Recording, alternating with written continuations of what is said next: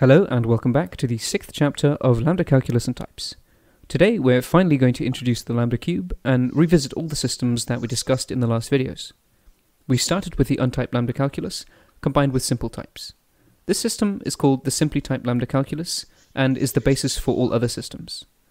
Unfortunately, its computational power is not all too great. It only defines the extended polynomials. Therefore, it has no recursion, but on the other hand, it's very easy to implement. Next up, we got to know Lambda 2, where we added polymorphism. This system added basically a for all operator for types, and with that, we were able to define primitive recursion. The third system was lambda weak omega. Here we added types depending on types, so type abstraction. This system had no additional computational power on its own, but combined with lambda 2, they became lambda omega, which is more powerful than lambda 2. The fourth and last system was lambda p, which allowed types depending on terms. This enables us to create more complex types and is useful in functional programming and in logical approaches of these systems. All of these systems, and with them their dependencies, can be combined arbitrarily. They form the so-called lambda cube, which you can see here, with the simply typed lambda calculus in the bottom left corner, adding lambda 2 when going upwards, lambda p to the right, and lambda weak omega when going to the back. So in total, one gets 2 to the power of 3, so 8 different systems. One can go as high as 2 to the power of 4, which yields 16 systems, by allowing terms depending on terms to be dropped too. But theories without classical lambda abstractions tend to be less useful, which is why they're not usually considered. All systems combined yield the calculus of construction, lambda c, which is in the upper right corner. This system is very powerful while still being strongly normalizing so all reduction sequences of terms reach a normal form. All constructible programs terminate, and it's the basis of computer-aided proof systems like Agda and Coq. In this video, we're not going to go into detail what the combined systems are or what they can do, but we rather want to give a uniform definition of all systems. For that, we need to dive into the differences between the systems again, namely the dependencies. So let's take a look at all of those dependencies and reduce the information to its bare core. We're going to form pairs of symbols to denote these dependencies like so. The first component will say what is abstracted, and the second component from what we abstracted. We use star to refer to terms and box to talk about types. So star star stands for terms depending on terms, which is needed for all systems. Box star stands for terms depending on types. Box box represents types depending on types, and lastly, star box stands for types depending on terms. With this, we can formalize the correspondence between systems and their combinations like so. Every system is an extension of the simply typed lambda calculus, so every system has the pair star star. The three systems that we analyzed in detail in the last videos all contain their own pairs. Now, all systems that include lambda 2 contain the pair box star. Systems that include lambda p have star box, and systems that include lambda weak omega additionally have box box. And of course, lambda c has every pair. Next up, we discover how to define lambda c, and with that, we will find a uniform definition for all the systems. To get to lambda c, it's easiest to start with lambda p and extend it by lambda 2 and lambda weak omega. This is the case because we're only going to need to add the two ways of abstracting over types.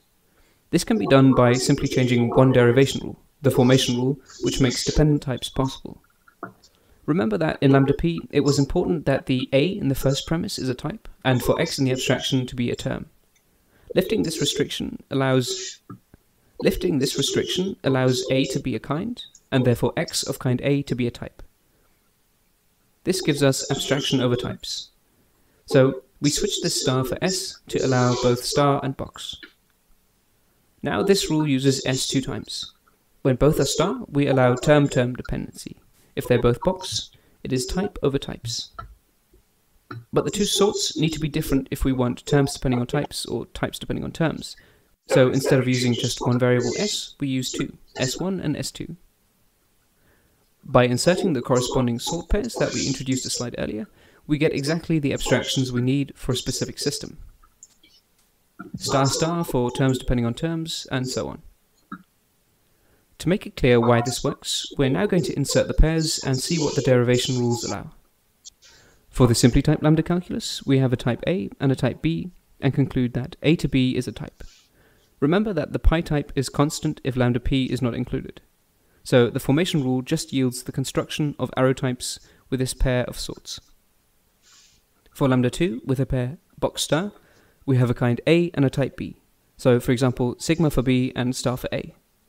In lambda 2, there were no constructors yet, so star is the only option for A. We then get that the pi type alpha dot sigma is a type. This is exactly the polymorphic type that we introduced in lambda 2. Now for lambda weak omega, we need to achieve types depending on types. A is a kind, and B is a kind as well, and still the pi types are constant. Now, A might be star, and B might be star to star. So with the rule, we can conclude star to star to star is box. This gives us proper constructors which are the basis for types depending on types. And lastly, with star box, we immediately have the formation rule for lambda p, and therefore types depending on terms. So to get back to the calculus of construction, we achieve its derivation rules by taking the rules from lambda p and changing the form rule as discussed.